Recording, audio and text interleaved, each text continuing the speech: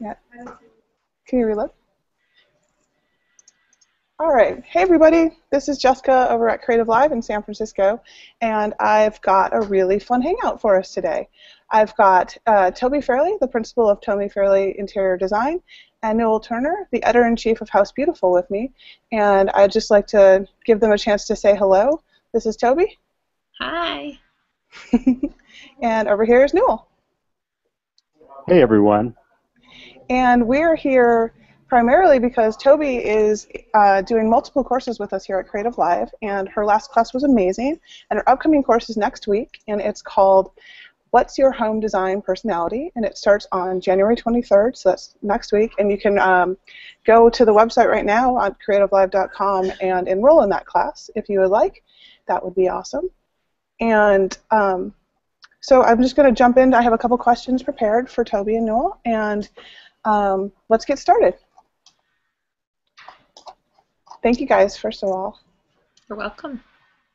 Um, first question, and this is probably something everybody's thinking about because New Year, everyone starts thinking about new things. Um, Tobi, what are the trends that you're seeing, and what do you think is new, or what do you think is going to be really hot for 2014? Well, I talked about trends uh, with color in my last course, and I'm going to talk a little bit about style trends um, in a section next week. But just to let a couple of cats out of the bag, I guess, as they say. Um, as far as color goes, you know, we heard the color of the year is radiant orchid, which is a purple color. I don't know that I that I totally believe that. I'm seeing lots of cobalt blues and moodier, richer hues like charcoal and navy, um, which I love. And then um, to some people's chagrin and amazement, I think brass is the big trend. Brass is back in a big way, and some of it's 80s and some of it's more chic than 80s. But I happen to love it. I've I, it never went out for me, um, but definitely seeing tons of it. I'd love to hear what Newell thinks because they they study this stuff too for the magazine. Sure. Yeah, Newell, what are you seeing? You know, I'm totally on page with you about brass. Um, you know chrome and nickel in particular was so big for a long time. Uh, but brass, you know, has this warmth and it really has a gleam that, that nickel and chrome don't have. And I love it right now. I actually like it two ways. I like it one where it's been lacquered and it stays really shiny and it never tarnishes. But I also like bra- brass in what they call a live finish, and that's unvarnished and it starts tarnishing and gets a patina to it. I mean, it's a little bit of a different look, but I love it either way. Brass is really hot right now. And then along what you just said about colors, Tobi, I think, you know, it's fun to talk about crazy colors and really strong colors as being hot, but when it comes down to it, it's really more of the neutrals that are usually the hot colors. Mm. And I always like to remind people, you know, white's a color. But, you know, even within the grays and the blues, there are wonderful shades that are sort of in and out. I mean, I think I really like colors that have a life to them. I mean, I guess it's like the brass. There are some colors and some paints in particular that um, have certain pigment formulations that make them li- alive and they react to the color or the light in a room. Mm-hmm. And I love that. I like it when a gray looks, let's say, warmer in the day and cooler at night on the wall. Um, but I love I love neutrals. You know, I think there's so much you can do with neutrals, and when you start mixing them, grays and creams and browns, I'm looking around my office. That's kind of my color palette. Uh, I love that look. Great, Tobi. Any thoughts on that?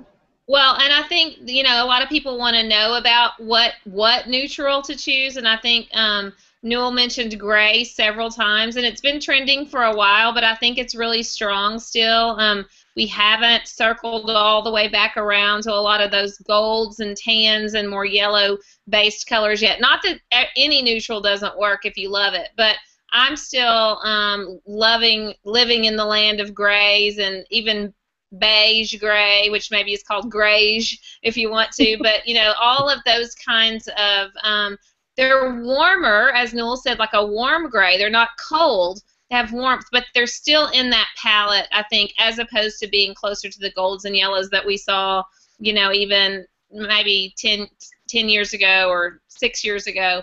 So I'm, I'm on the gray train still. Right you know. Tobi, Tobi, you talk a lot about color personality and finding your color personality. And I'm a real blue person, so I've always liked blue. I mean, I, I, I always have something blue on me, which is a good sign that I'm going to like blue anywhere else.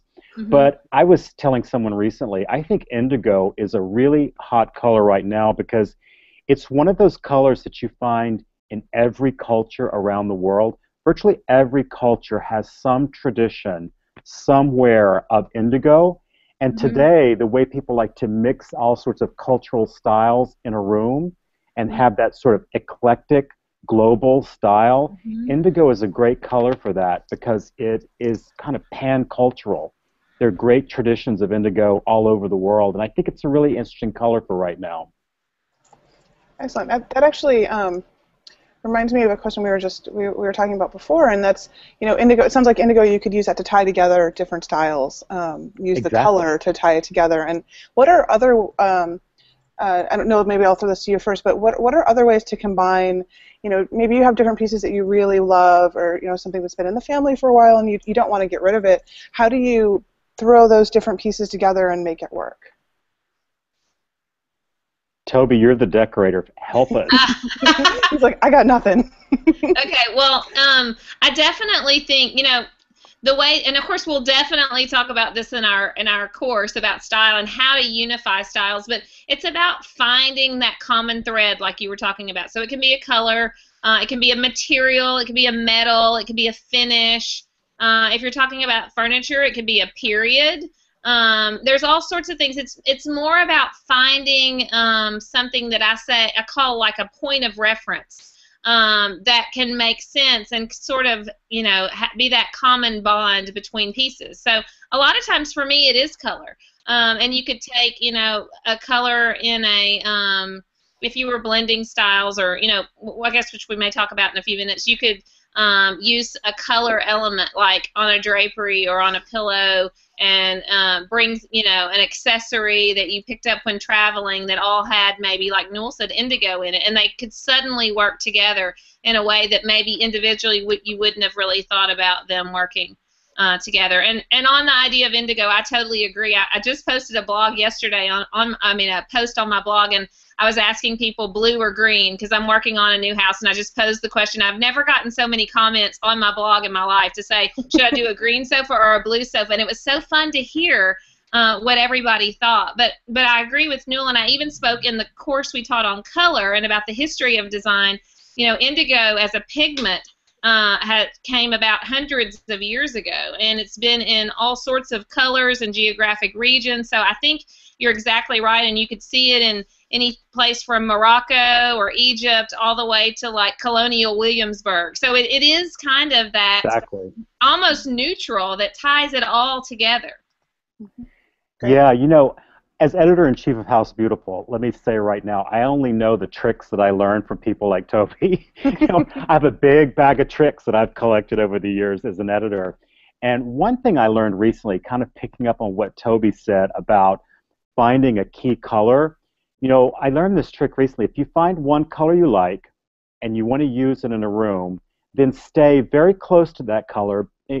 Use that color, but don't stay with just that one color go a shade above or a shade below and kind of layer those shades around that one color in the room. So you might go a little lighter on the wall, go a darker shade on the sofa, but stay all right in the family around that one color that you like.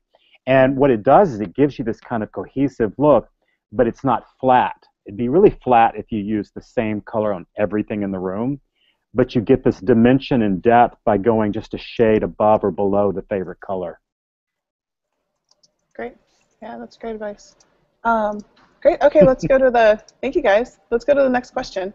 Um, so, everyone is curious, and I know Tobi, this is this is a big part of your your class coming up next week. Is is how do I find my personal style? Like, how do I even get started to try to figure that out?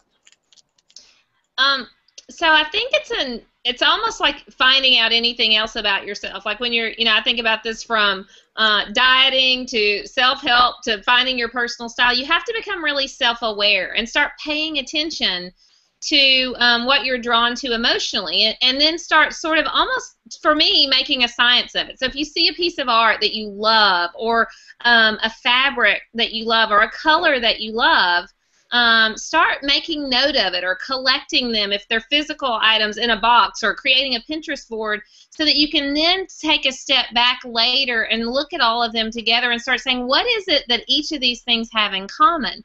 Um, and you can start really finding a lot of cues about yourself and your style. And, and usually I think it's that. Um, it's sort of almost more from the gut uh, to me. It's like what your have a visceral reaction to in a good way. What makes you happy? What makes you feel relaxed? Um, and you can start just sort of not being too critical of them as you collect them, put them all in one pay- place, and then draw them all out and go, what is it that I love about these? Oh, I had no idea. I'm drawn to all these rooms that have, you know, white walls, or I'm drawn to all of these rooms that have uh, a mid-century piece of furniture in it, or that have, you know, a lot of windows in the architecture, and you'll start to see some common threads through um, the things that you're collecting that maybe you didn't even notice before. Right on. That's so true. That is so true. You know, you can do it really easily on Pinterest, but also, you know, before the digital world got so big, just tearing out of magazines mm-hmm. and throwing them in a shoebox and then going back and pulling it all out. I've done this before myself. Mm-hmm. All of a sudden, you kind of go, it's it's like therapy all of a sudden it's like really obvious what you like because you'll find that you've torn a lot of similar things that have the just been thing. appealing to you. Yeah. Sure. Yeah. Same thing over and over. I think it's kind of like um, finding what your personal style, your fashion style is, because you know when you're not paying attention, and then all of a sudden you go in your closet and you go, "Oh my gosh, I didn't realize I had bought four purple shirts," or you know, three pairs of green shoes or something. It's or this style of sneakers or boots, and, and it's it's that kind of idea of just starting to pay attention to, um, and then asking yourself questions about. It's really the education piece, like. I don't know why I like these. Let me learn more about what they are, whether it's a sofa or chair style, or if it's a, a textile, or you know, is it a, are you drawn to floral prints, or are you drawn to clean lined furniture, or or things that are more um, European or fussy or have skirts on them as far as sofas, you know, you're going to see some things and start becoming aware that, wow, I'm really influenced by um, this style uh, in a, more than I thought. Great. Um, and I know for sure you'll be talking about that in the class. That's, yes. Mm-hmm. That's a big piece of it. Great. Um, next question is uh, it's, it's it's similar, but it's it's a little bit different. It's it's what happens. How do you work together with someone else? You know, this happens a lot, I think, with roommates and and when uh, partners move in together. Um, what's a good strategy to collaborate and work with someone who has a different style than you do? Tobi, you want to go first? Okay.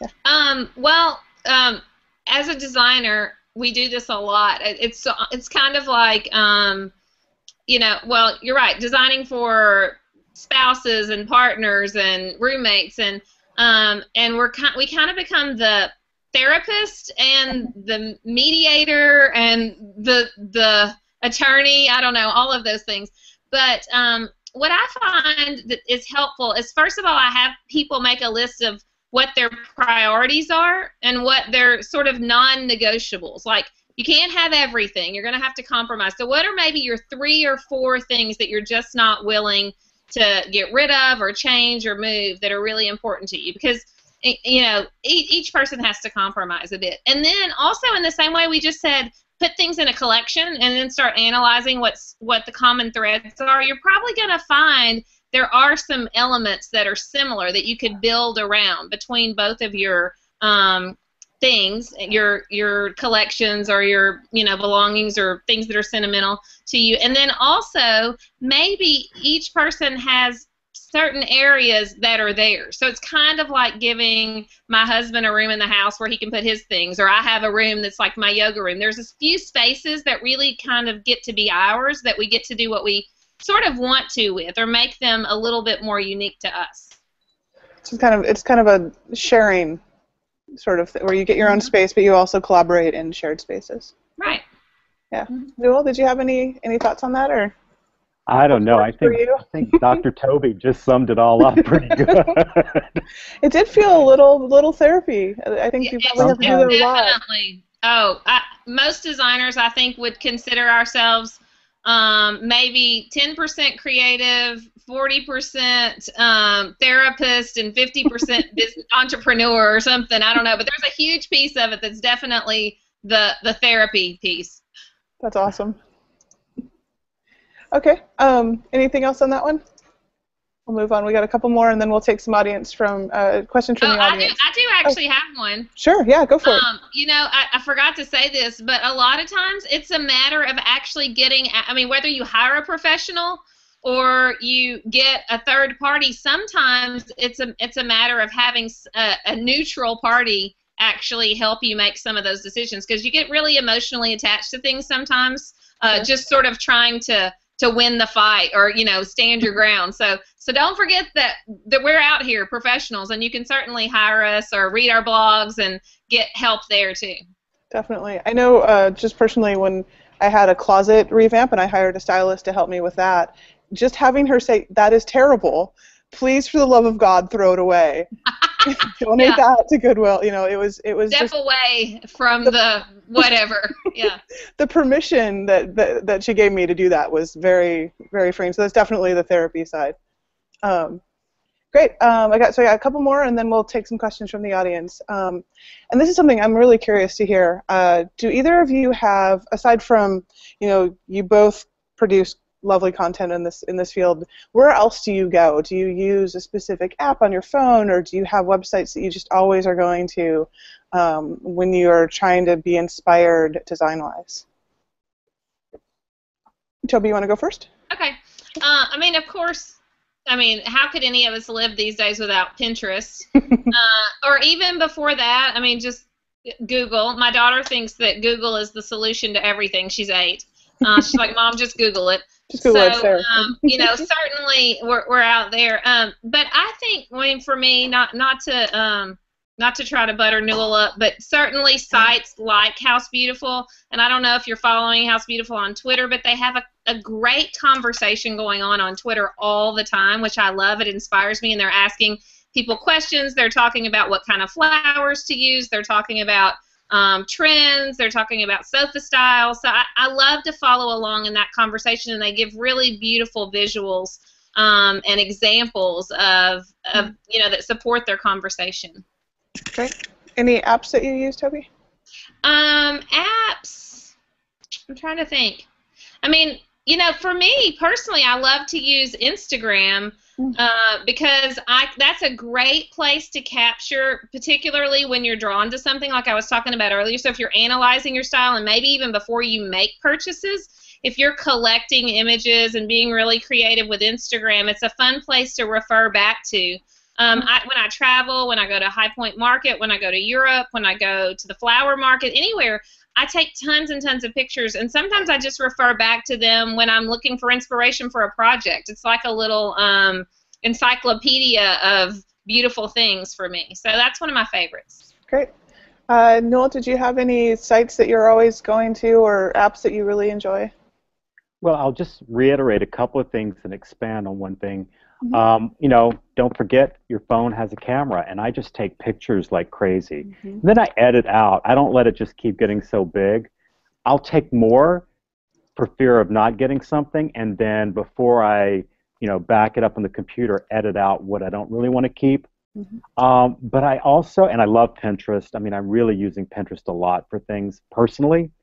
But I also love Instagram because, unlike Facebook, it's out of control.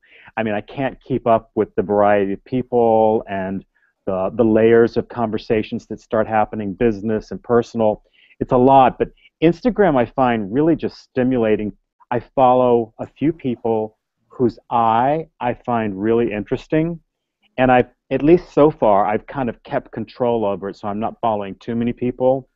And you know, you'd think that I look at stuff all day long, so you'd think at the end of the day I'd be sick of looking at things.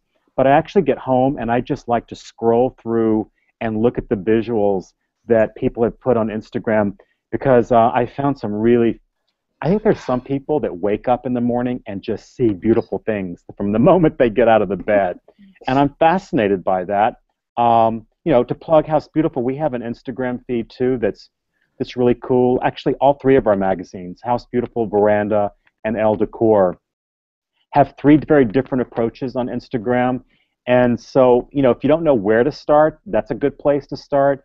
And then you'll start running across people who have an eye that you connect to, that you identify with, and you follow those people. Tobi, you know, do, do you agree? I think you can mm-hmm. just find some of those amazing things through Instagram. I, I can't Im- imagine a world without it now.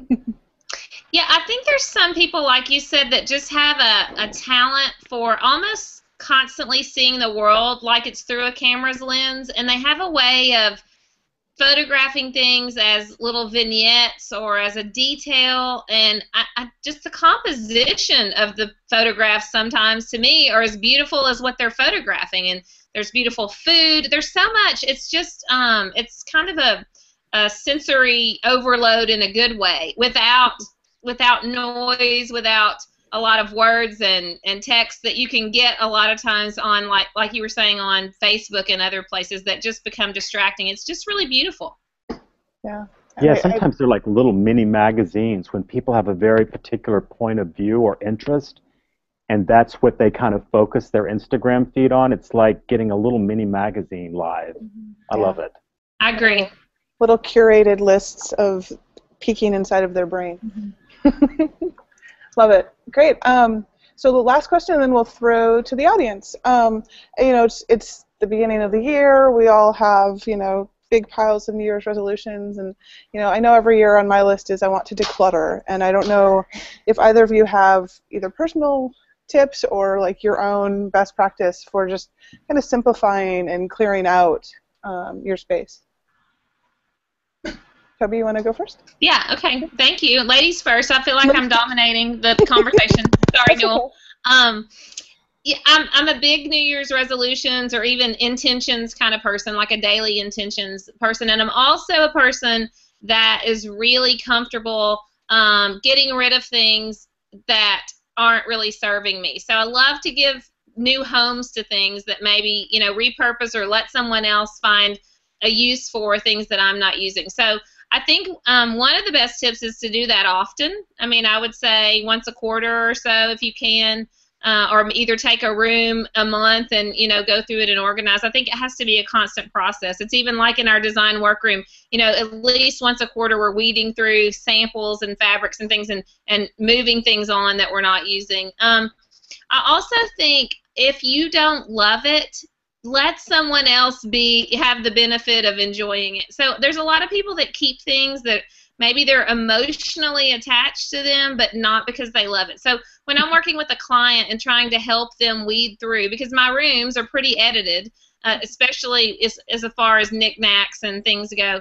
Um, we, we go through this process and we say, okay, is this something that you'll, you'll use once in a while, like at a party for entertaining, it was your mother's or something, keep it, but let's find a place to store it. And if you're never going to use it, don't feel guilty giving it a new home. You know, because I'll, people have things, maybe they just have a hundred things from their mother. And I say, pick your favorite three or four that have true meaning for you, and then move the others on to someone else. So, um, a lot of people feel guilt associated with things, and I try to help them understand you, you've you've um, you've been loyal and you've been gracious by showcasing these few pieces, it doesn't mean you have to do that for every piece. Great.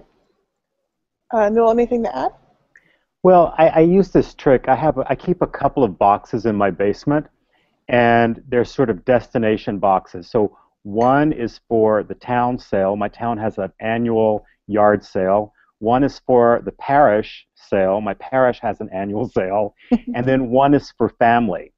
Um, so I kind of keep these three boxes in the basement. They say it, and I just try to move things to those boxes. And the nice thing about it, you can put it in there, and you're not getting rid of it right away. You can come back and reconsider and take it back out again before it really goes. But it does help you kind of get things moving. So, mm-hmm. and then when you're ready to dispose of it, it's all in a box, ready to just go. You don't have to kind of doesn't become a big project. That's the mm-hmm. hurdle for me if I kind of keep things kind of going all the time um, and collecting, then you know it's an easy job to get rid of it, and I can move it on out before I reconsider anything. But that's my little trick. Yeah, that's a good one. Great. Well, we got a bunch of questions from the audience. Um, so I'm gonna I'm gonna start with uh, one from Elizabeth who says, uh, who's asking, how do you stay ahead of trends so that you are the one saying that brass is now in rather than following behind it? Um, either one of you can grab that.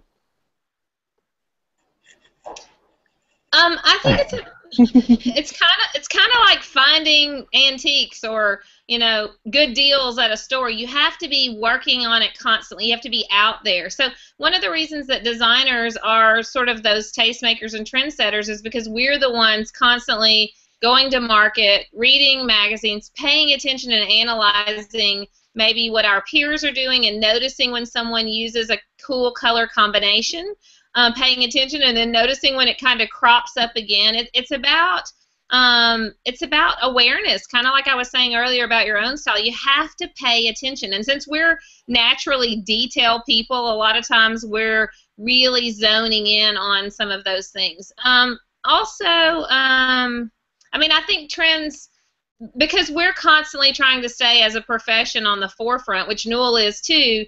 Um, we we are a little more daring to try things a lot faster than other people. So you have to be willing to take a chance knowing some of them aren't going to work. You're going to fail sometimes, but you have to if you're not trying stuff often, if you're waiting until everybody else has done the trying for you, you're already behind the trend, I guess. Great. Yeah, and if you're going to fail, fail with style. go, go, exactly. go, all out and fail in a big grand way. You know, style and trends cycle so fast now. You know, I was thinking when I was talking about brass a minute ago, okay, as I say brass, brass, brass, you know, nickel's probably coming around the corner really fast. but, you know, I think it comes back to what Tobi was talking about and is actually going to talk about in her color programs. And that's just find something that feels good to you and be true to what feels good to you and love it. And and then you know what? Maybe you become the leader instead of the follower as you lead some you know it, i think when you really love something you set an example for other people and you create this passion for other people because they see your passion for it. And i think you know instead of worrying about trends i would just find something you love and be true to it. You know i also encourage you to come to house beautiful because it is like tobi said our job to kind of look look look look and make mm-hmm. sense of it for people and I think we do a pretty good job of that. Mm-hmm. So, you know, pick up House Beautiful or come to us on the web or, you know, anything like that and see what we're talking about because we're we try to stay ahead of the curve and we're usually pretty good about it. Great. Um, we have a great question. Um, so Rebecca asks, um, I have a question about that fabulous photo at the top of our webpage, and uh, Tobi, it's that photo you used to promote our last course, or your last course, which has the, the, indigo sofa with the orange wing chair and the pillows. That's my that well, that was my living room until I moved about three months ago. So oh, awesome. Um, and she's asking, unfortunately, uh, or she says, it wouldn't to me be half of what it is without the fabulous burst of tulips on the coffee table.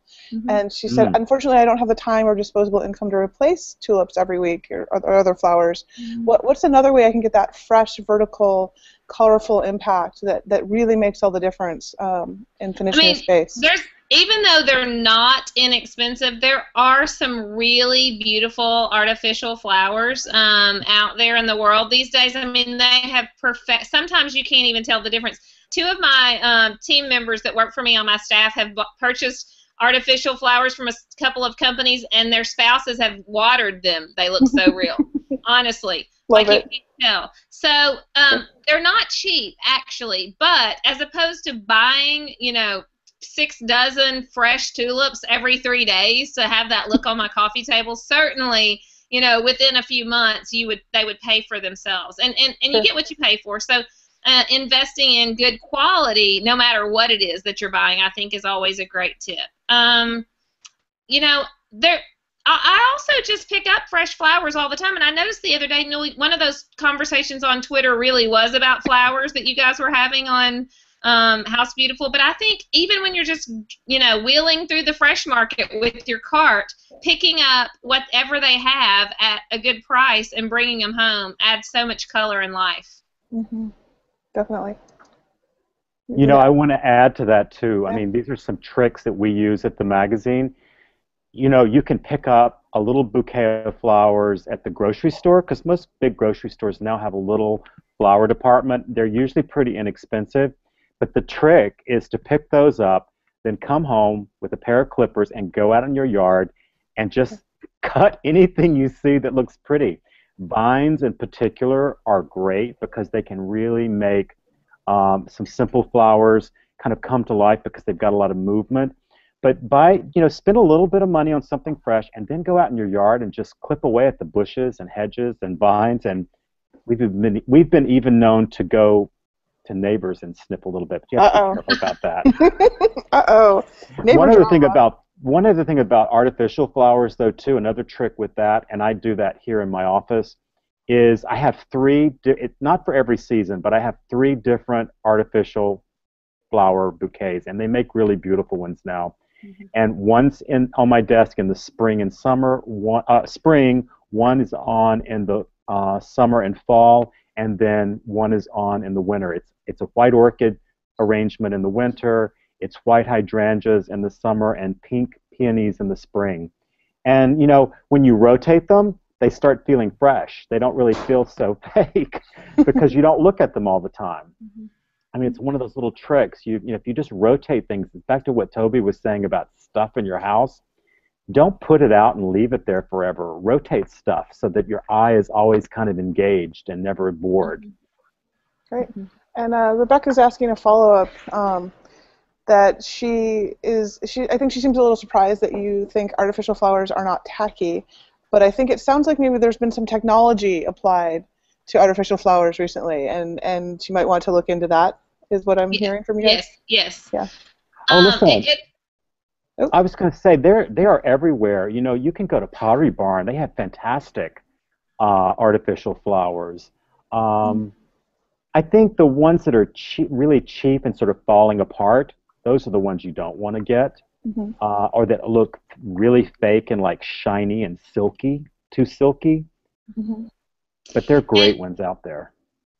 Well, and, and I think another trick is to take cues from real floral designs. So it's been a trend for several years. Even you'll notice in magazines to maybe use all one type of flower, um, kind of like Newell was saying. So um, when you look at artificial arrangements, like he was saying, that maybe are a whole bunch of pink peonies cut really short and paved in a vase that look mimic a true beautiful fresh flower arrangement, that's completely different than what we used to see uh, in artificial flowers. It's almost the difference um, in what wallpaper used to be versus what wallpaper is now. And people go, oh my gosh, I can't believe you love wallpaper again. And they're thinking of these hideous vinyl things that they couldn't get off the wall. You know, there's been a ton of technology and design across the board, and the things that look the best are the ones that really um, have quality, and then, like we said, in the flowers that really mimic something that looks fresh.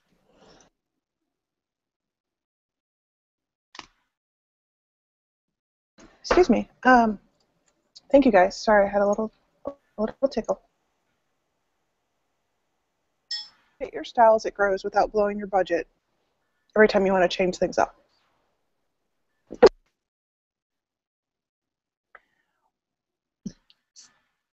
Did you hear that, Newell? I think we we ha- she's Yeah. having a little a little Yes. cough. Yeah, let's keep talking because you know Okay. I think I think you should think of your style as an ongoing thing, and I would never want to be done decorating because it's too much fun. So I think actually I was listening to a lecture by uh, uh, an English decorator, Nina Campbell, the other day, and she said, you know, so many people make the mistake of going in and feeling like they need to buy everything right then and get it all done at once. And then they miss out on the fun of looking and exploring and eventually finding that right thing to put on the fireplace or over on a table by the sofa. You know, leave some holes to fill and then have fun looking, you know, as you live. Yeah, and I agree. People, um, the conversation I've been having on my blog because it's what's happening in my life is that I did just buy a new house, in September, and it's a definite fixer upper. And so I've been starting to show the pictures on my blog, and, and so many people have commented, "Oh my gosh, why did you move? Everything was so beautiful before." Um, but for me, that is what's most fun is to you know have a house, love it, enjoy it, and then move on and use my furniture in different ways, move them into different rooms, recover a few things, bring things out, like you said, of the cupboard that maybe I forgot I had, and suddenly they're the things that get showcased on the the coffee table and I forgot how much I loved them or I remember when we picked them up on a trip and my husband and I bought it together or something. You know so it it is more much more fun um, to constantly be evolving in your style and and um, you know enjoying new things or different things I agree Great. Um, next question from Christina. When designing a living room, which piece do you start with? A big couch, a big item like a couch, or a rug and then work around it? How do you get started? Um, well, for me, I pick the piece that's most inspiring. So a lot of times I start projects with um, something colorful like a fabric because that's what I really love uh, and I decided what it's going to go on. Is it going to be the drapery? Is it going to be um, a pillow on the sofa, um, an antique chair that's going to be recovered, or maybe it's um, maybe it's not a fabric. Maybe it's a, a piece of art or a bowl or something that I picked up somewhere that I'm really excited about. So I usually let one really um, exciting and colorful piece set the tone, and then I layer in all those other pieces behind it. And of course most of your stuff in your room is the big neutral sofa or maybe even a neutral wall paint, but um, it would kind of be a little boring to start there, and it would be hard to stay inspired along the way. So I say start with the most exciting piece.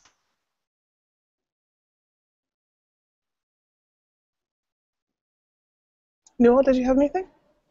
Uh, well, you know, I was going to say most of us usually have something already that we have and we need to we, we we're not starting without anything. So you know if it's the rug that you have start with the rug and maybe find the color palette to build the rest of the room out of the rug. Or you know even a piece of art. You know you could start with a piece of art that you love and let that art kind of dictate where you go with your color palette. Don't you think tobi yeah for sure yeah i think it's whatever and i talk a lot about that in finding your color inspiration in the last course um, but it's the, the same is true whether you're looking for colors or you're looking for uh, the sofa. I think certainly, yeah, find a piece uh, and let it be the jumping off point. And that way, um, it keeps you from getting confused. Pick either the, the largest piece or your, the, your favorite piece, the most important piece.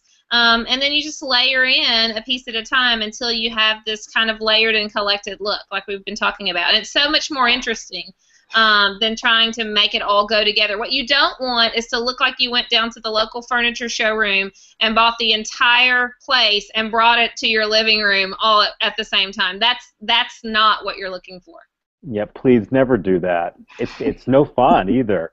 You know, and, you know another thing about finding color too. Someone or woman once told me that you know sometimes if you just stop, like you were saying earlier, Tobi, look in your closet and look at the clothes that you have sometimes things that you already have will dictate where you should go with it.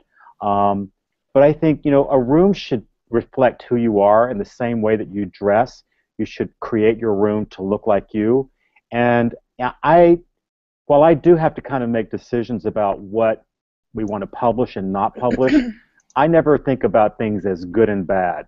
I, I think more like, does this work for us and what we want to do right now? Because I don't ever want to fall into the trap of saying someone's look is no good because it is their expression, and, and I respect that.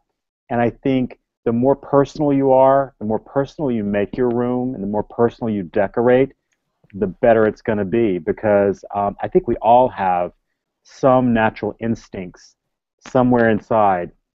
We like to say at House Beautiful, everybody has a beautiful in house, a house inside of them, and we're here to help you find it by showing you great examples of good work and great examples of beautiful rooms. And, and getting back to what we said earlier, the more you look, the more you educate yourself by looking at things, the more you'll understand what works for you, and the more you, you'll understand what you like and what you want to surround yourself with. Great. Um, we got we got a couple more questions from the audience. Betty says um, asks what role does new original art play in setting or supporting trends? Whoever new, is new original art. Correct. Yeah. Um, I don't know. I don't know about setting trends as much as it's just important to create um, a home that reflects your unique style. Um, I think artwork is very, very personal, and of course, some people collect uh, for investment purposes, or you know, they want to have certain artists in their collection. But most of us just buy things that move us, that make us happy, or that remind us of of something, um, a time or a trip or something. So I think it's more about um, maybe not as much being trendy as it is just um, being personal and unique. Amen. Excellent. What she right. said.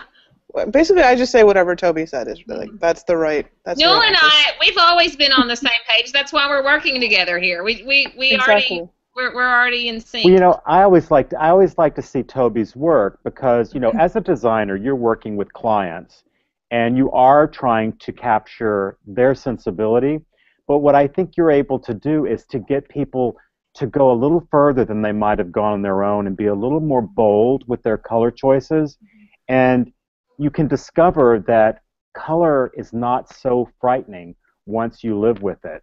In fact, I think people find when they do make go a little bit outside of their uh, comfort zone with color, that they can find that suddenly it didn't seem so far at all. You know, and Tobi, your rooms, I mean, you're you're gutsy with color and but I but I've never seen anything fall apart either.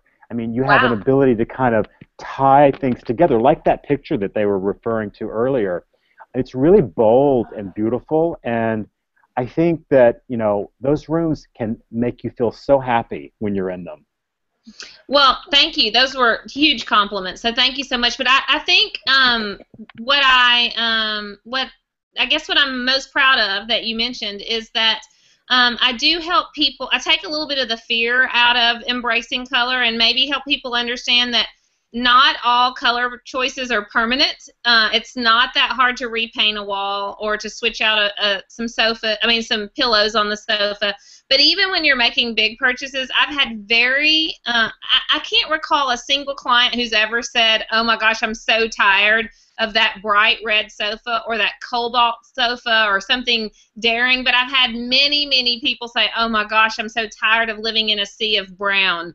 or I'm beige to death or I'm tan to death. So people, you know, really are moved by color. And I think um, they actually end up a lot happier when they um, maybe push the envelope a little bit. They become proud of themselves that they could take the leap and it makes them love it even that much more.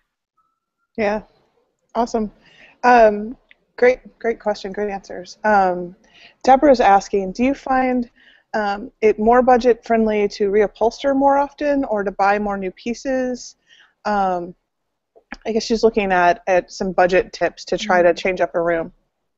Yeah, I mean that gets a little tricky. I just had this conversation with a, a client, a new client today. It's been a, that's been a friend of mine for a long time, and we're just starting a project. And she has some pieces, some that aren't even very old, but she's just not really happy with the fabric choices. And so um, we were having this conversation: do we recover or do we just buy new? Well, it depends on a lot of things. It depends on the uh, the fabric. I mean, sometimes uh, the fabric itself, if it's if it's expensive, can be more expensive than the entire, you know, buying a whole new sofa all by itself, just the fabric. Um, it's there's so many different qualities that we're talking about. It's hard to compare apples to apples. So um, sometimes you could go out and buy an entirely new sofa, less expensive than re- reupholstering. But is it as good as the quality of the piece that you already owned. And usually my rule of thumb for clients is if this is the most comfortable sofa or chair that you've ever owned in your life and you've just told me how much you loved it, I'm not going to take a chance on getting rid of it and hoping that a new piece is that comfortable or that the lines are right or that the scale is perfect. I'm going to probably, if it's in good quality, just go ahead and recover it because we already like what we're working with. It's kind of the if it's not broke thing. Um, you know, maybe it just needs to be uh, have a little facelift, then that's when we're going to go ahead and and re reupholster it. But it gets tricky because both can be expensive. Um, but you get what you pay for, and they can last a long time if it's great quality. Great. And if you can reuse something like that, it's also a very green thing to do. You know, sofas are large pieces of furniture, and if you're not giving it to someone else to use, it's going in a landfill and That's taking right. up a lot of space. So if it's still a good functioning piece of furniture, either try to redo it in some way that works for you, or make sure it goes to someone else that could enjoy it and take advantage of it. Because um, you know we have to think that way, and I think the more we think about green at that level, the more effective we become overall uh, in a green way. I, I agree completely, and and just um, kind of as my own personal philosophy, because I'm sure this I don't know that I've ever told anybody this, but I, it would probably be interesting for people to know that pieces of furniture in my house, many of them have been recovered many times already. So if I move to a new house and have to use things in a different room, I'm not tossing out and getting new. I mean, I have chairs, and uh, you know, I'm, I'm early 40s, and I have some chairs that I've recovered three times already, depending on you know, maybe some didn't hold up as well as others. You know, when my daughter was young, maybe it was that I needed a color change because we moved to a new house. But but um, most upholstery that's good quality can be recovered many times, uh, and you don't have to toss it out. So I agree with Newell. I, I'm constantly um, reinventing things. You know, I just wrote an editor's letter a few issues ago about my sofa uh, because I walked in one day into my apartment and I looked at my sofa and I was like, oh my gosh, it's seen better days. but I'm I've become so attached to this sofa, I can't get rid of it. So I've I've re-slip covered it three times. Um, I think though it may have met its end though because it's really it, or at least I'm going to have to do a big overhaul on it because the padding is really kind of going on it. But I don't know. I tend to get attached to things like pets, and this sofa has like seen me through a lot of good and bad times, and I can't bear the thought of seeing it out on the street in New York, waiting for the dump truck to come pick it up. I, I'm gonna have to. If it has to go, it's gonna have to go when I'm not there because I can't watch that. Oh no. And, and that's the perfect example of why designers have to be therapists. Yeah, I think um, I need you, Tobi, gonna come have to do a. visit. I need to do a sofa intervention with you after we get off this call. Oh my gosh, I want to film that. This needs to be part of your Creative Live course. The the sofa intervention. I love it. Design intervention. It's your reality TV show, right, Tobi? Exactly. Okay, okay, got a couple more questions and then we're just about out of time. Uh, Deborah had a second question. She said, um, "What are your top three like quick room updates? You know, a pillow, lamp, art book. Like, what are the the top three things that will really help a room uh, look updated or refreshed?" Do you want me? No, you can go No, first this no, time. You no, don't go do first. You know what? First. I'll give you I'll give you three tips that we use uh, for styling, but they're also really good quick updates to a room. One, and this requires buying something, are throw pillows. You know, switching out the throw pillows on your sofa or your chairs or even on your bed can almost instantly change the personality. And you know, you can find you can find great throw pillows pretty much anywhere. Uh, all the shops, even HSN has great throw pillows, believe it or not. They have some fantastic ones, as a matter of fact. Really inexpensive, and you can watch it on online and order them and have them delivered. Um, but throw pillows, changing the throw pillows is a really quick way to update the look of a room. Uh, the other thing is something we just talked about flowers. Flowers will brighten and bring life to a room immediately even if it's just a simple bouquet of flowers you cut from the yard, daffodils in the spring, even branches uh, have a lot of drama and look beautiful. Autumn branches, blo- uh, blooming branches, or just green branches in the summer. Um, and then the third thing, oh my gosh, I'm losing my track. What I was going to say? Oh, the third thing is um, like flowers, a simple bowl of fruit or something like that is a great way to refresh a room. Um, Oh, I, I'm going to add one more thing too. Paint. Paint is the easiest thing and the quickest way to change everything. And sometimes you just need a fresh coat of paint on the walls. I think people um, go too long sometimes and, and don't realize, you know what, I just need to get the walls painted again. But if you decide to paint your walls, try a color next time. Try something a little bit different uh, because really color and paint can change things like overnight. Good. Any other any other tips, Tobi? Well, when Newell jumped in with his number four, he stole my brilliant idea, which was paint. um, but I mean, I certainly agree with him. Pillows, for sure, they're so easy, and you can have like Newell changes his flowers on his desk. You can have summer pillows, you can have fall pillows, you can have winter pillows. Um, you can pick them up in you know inexpensive places, Target, TJ Maxx, like he said, home shopping. They're everywhere, mm-hmm. um, and it's fun. Um, you you can feel even if you don't fancy yourself a designer, um, how wrong can you really go buying a couple of So it kind of gives you confidence to do your own decorating for sure. So paint pillows, um, and then think look at details like lampshades or um, you know little elements sometimes that can really update a space. So or adding a trim onto something. Like i'll take paper lampshades and add grosgrain ribbon on the top and the bottom of them. Or you know you can even add trim on the bottom of a sofa. Literally even my own upholsterer sometimes uses like you know, an adhesive tape or a glue gun to add a little trim to something. So not, I'm not suggesting that we become totally crafty because those can go awry sometimes, but there are some little tips like that that you can do on your own um, that spice things up and um, just give a little punch of energy to your space. Great. And we're almost done. I got one more question. Um, Loretta asks, uh, what is a product that you find really durable that people think is fragile or vice versa? A product for what? I think for for design. One of the things that comes to my mind, because I feel like I have this conversation every single week, um, it's that people are afraid to use marble countertops. Mm-hmm. And um, we're just, I mean, people are just terrified of using marble. And so yesterday I was at a client, went out to the um, marble and granite yard with a client, and we selected slabs for her new kitchen.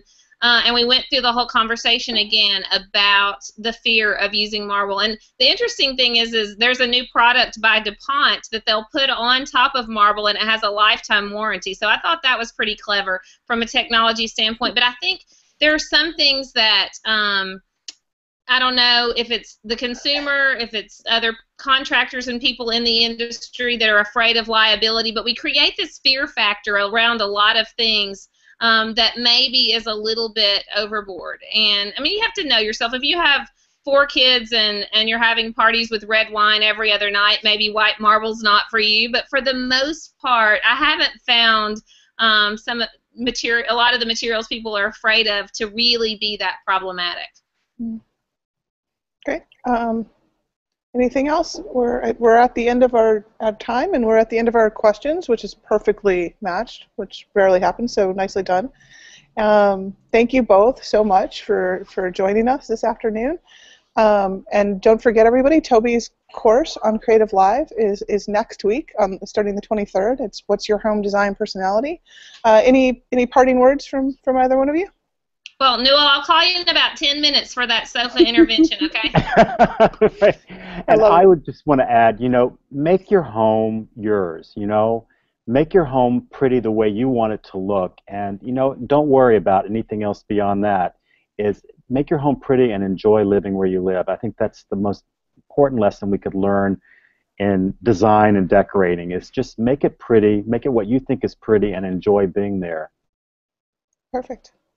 Well, thank I you agree. Both. I agree. thank you both so much. Bye-bye. Uh, bye. Have a great day, and you. see you on Bye. Creative Live. All right. Thanks.